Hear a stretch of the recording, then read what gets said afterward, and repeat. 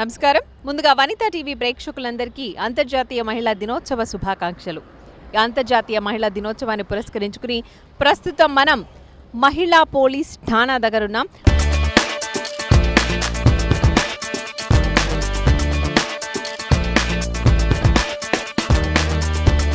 మరి ఇది బేగంపేటలో ఉంది. ఇక్కడ ప్రతి వింగ్లోనూ మనం లేడీస్నే చూడొచ్చు. అంటే మామూలుగా అమ్మాయిలకు ఏదైనా ప్రమాదం సంభవించినప్పుడు వాళ్ళు మగవాళ్ళకు చెప్పుకోవడానికి ఇబ్బంది పడే పరిస్థితుల్లో మహిళలు మేమున్నామంటూ వాళ్ళకు రక్షణ కల్పించేందుకు ఉన్నారు.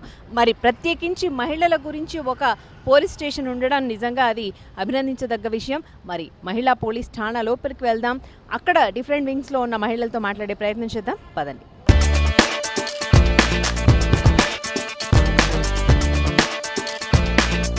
సో మహిళా పోలీస్ స్టేషన్ బేగంపేటలో ఉన్న మహిళా పోలీస్ స్టేషన్ లోపలికి వచ్చేసాము ఎంటర్ అయ్యాము. సో ఇక్కడ ఫస్ట్ చూస్తే కనుక మే ఐ హెల్ప్ యూ అంటూ ఒక హెల్ప్ డెస్క్ కూడా ఉంది. ఇక్కడ కూడా మనకి లేడీ పోలీస్ ఆఫీసర్ కనిపిస్తున్నారు.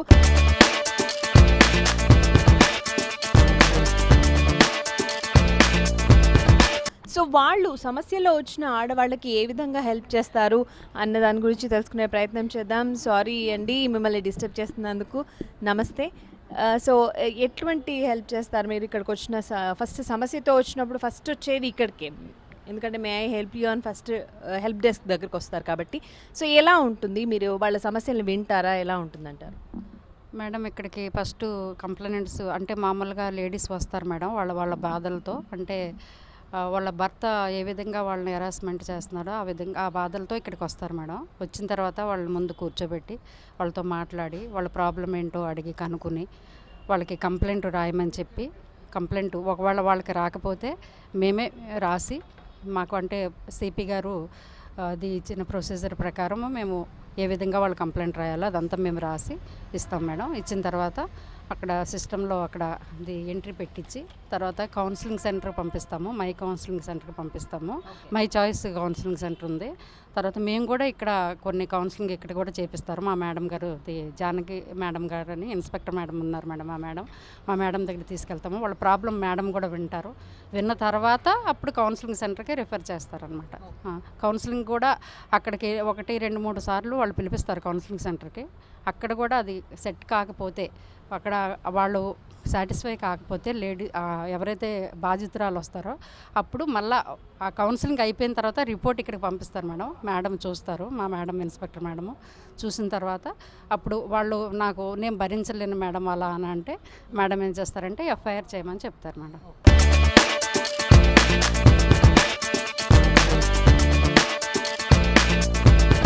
సమస్యలతో వచ్చిన మహిళలు ముందుగా హెల్ప్ డెస్క్ దగ్గరకు వచ్చి వాళ్ళ సమస్య ఏంటో వివరించడం జరుగుతుంది. అయితే అక్కడ ఉన్న ఏఎస్ఐ గారు ముఖ్యంగా వీళ్ళ సమస్యలు ఏంటో తెలుసుకుని వాళ్ళకు పరిష్కారం ఏంటి ఎలా పరిష్కరిస్తే బాగుంటుంది కౌన్సిలింగ్ అవసరమా ఇత్యాది విషయాలన్నీ మాట్లాడతారు. ఇందాక మనకు ఆ విషయాలన్నీ ఏఎస్ఐ గారు చెప్పారు.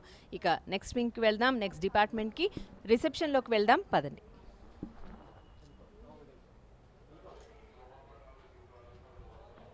సో ప్రస్తుతం రిసెప్షన్ దగ్గర ఉన్నాము. నమస్తే అండి మీ పేరు చెప్పండి.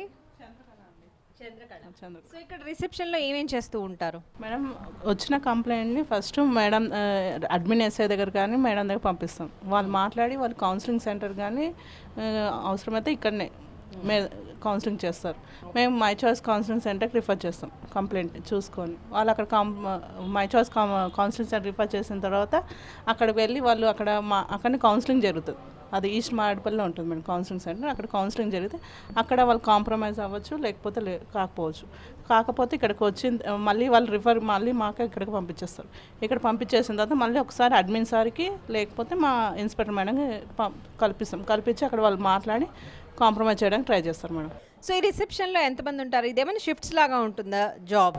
లేదు మేడం ఒక్కదానే ఉంటాం. మీరు ఒక్కరే ఉంటారు. ఓకే. సో ఇంకా ఏం చేస్తారు? సో సిస్టమ్ ఉంది మీ ముందు ఈ వీళ్ళకి సంబంధించిన ఇన్ఫర్మేషన్ అంతా కూడా దాంట్లో అవైలబుల్ ఉంటుందా? ఉంటుంది మేడం. ఓకే. మేము వాళ్ళు వచ్చిన పిటిషన్ ఎంట్రీ చేసి ఒక అక్నాలజ్మెంట్ ఇచ్చి పంపిస్తాం మేడం. ఎలా మేడం? ఇలా ఇచ్చి పంపిస్తాం. My choice counselling centre report madam ఇది. ఇది సో వచ్చిన ప్రతి ఒక్కళ్ళకి కౌన్సిలింగ్ అనేది తప్పనిసరి. తప్పనిసరి మేడం. ఈ ఫ్యామిలీ మ్యాటర్స్ కాబట్టి కౌన్సిలింగ్ సెంటర్ రిఫర్ చేస్తాం మేడం.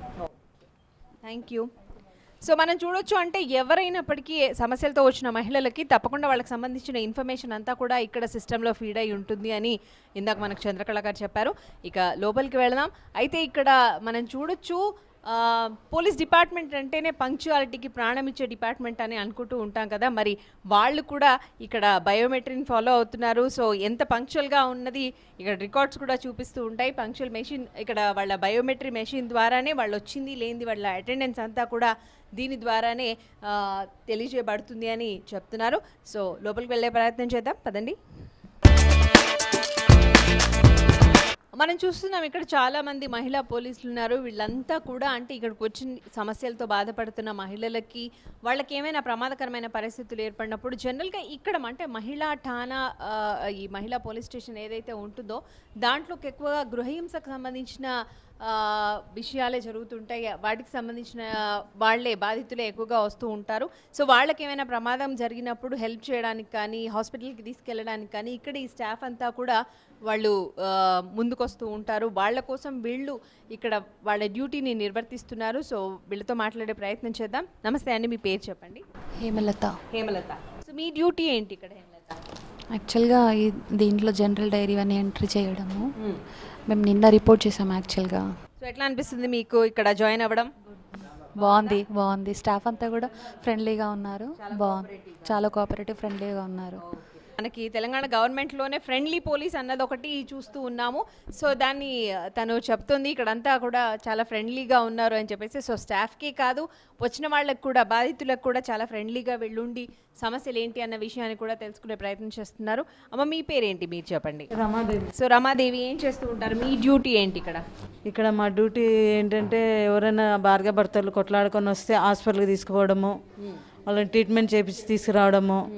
వాళ్ళ భర్త భార్య భార్య కంప్లైంట్ ఇచ్చినప్పుడు భర్త రాకపోతే వాళ్ళకి ఫోన్ చేసి పిలవడము. వాళ్ళని పిలిపించి మళ్ళీ వాళ్ళని మాట్లాడిపించి కాంప్రమైజ్ చేయడము. లేదంటే కౌన్సిలింగ్ పంపించడము ఇలా చేస్తుంటాం మేడం. బందోబస్తులు ఉంటే బందోబస్తులు వెళ్తుంటాము. సో తెలంగాణ గవర్నమెంట్లోని హైదరాబాద్ బేగంపేట్ మహిళా పోలీస్ స్టేషన్లో అడుగడుగున ఎక్కడ ఏ వింగ్లో ఏ డిపార్ట్మెంట్లో చూసినా కూడా మహిళలే దట్టు ఎక్కువ సంఖ్యలో మహిళలు కనబడుతున్నారు. మనం చూడొచ్చు వీళ్ళందరినీ చూస్తుంటే అర్థమవుతుంది. మరో డిపార్ట్మెంట్కి వెళ్దాం రండి.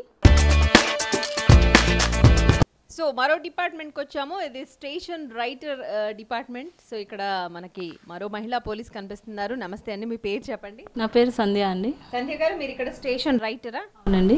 ఏం చేస్తూ ఉంటారు? స్టేషన్కి సంబంధించిన అన్ని రికార్డ్స్ మెయింటైన్ చేస్తూ ఉంటామండి అది కాకుండా ఎవ్రీ మంత్ మంత్లీ స్టేట్మెంట్స్ అని మన క్రైమ్కి సంబంధించిన స్టాటిస్టిక్స్ ఉంటాయి. అవన్నీ ప్రిపేర్ చేస్తాము.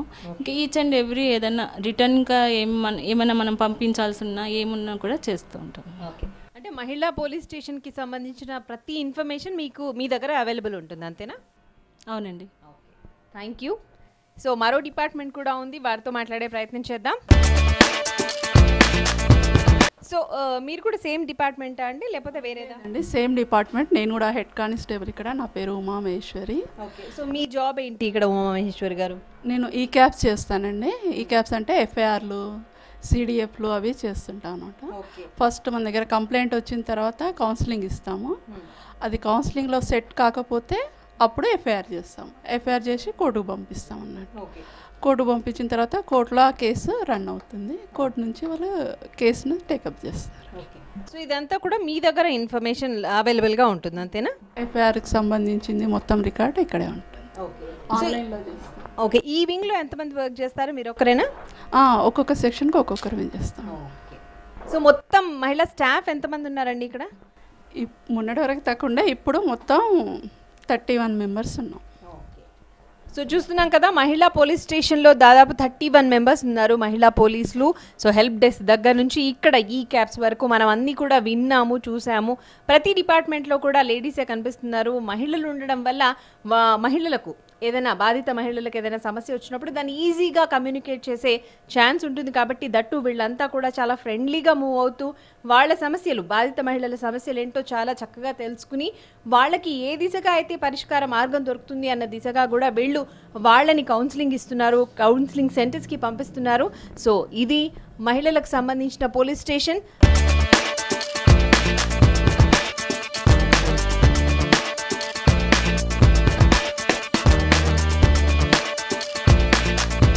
Telangana government friendly police అనే ఒక నినాదాన్ని ప్రవేశపెట్టారు. ఆ విధానాన్ని ప్రతి ఒక్కరూ కూడా పాటిస్తూ వస్తున్నారు. మనం చూస్తున్నామంటే మహిళలు కూడా వాళ్ళకి ఎటువంటి సమస్యలు వచ్చినా కూడా ఈజీగా కమ్యూనికేట్ చేయొచ్చు. వాళ్ళకున్న ప్రాబ్లమ్స్ని ఎక్స్ప్లెయిన్ చేయొచ్చు.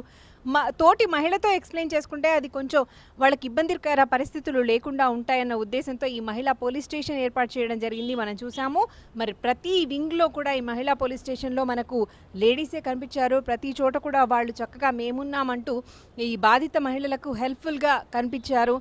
మరి ఇలా ప్రతి జిల్లాలోనూ ఒక మహిళా పోలీస్ స్టేషన్ ఉంటే బాగుంటుంది. బాధిత మహిళలకు చాలా హెల్ప్ఫుల్గా ఉంటుంది అని ఆకాంక్షిస్తూ మరొకసారి ప్రేక్షకులందరికీ అంతర్జాతీయ మహిళా దినోత్సవ శుభాకాంక్షలు. Happy Women's Day!